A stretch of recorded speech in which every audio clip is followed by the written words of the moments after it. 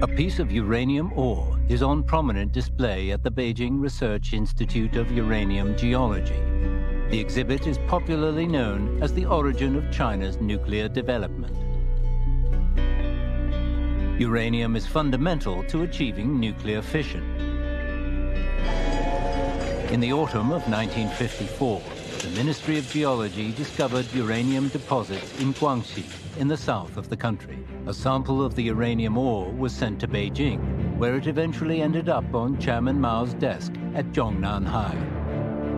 Mao took the ore sample in his hands and tested its weight.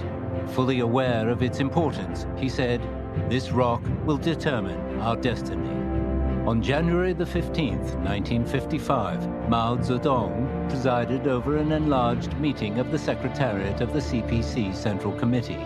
Scientists Li Siguang, Chen Sanqiang, and Liu Jie delivered reports on the development of China's nuclear science research and the problems it faced.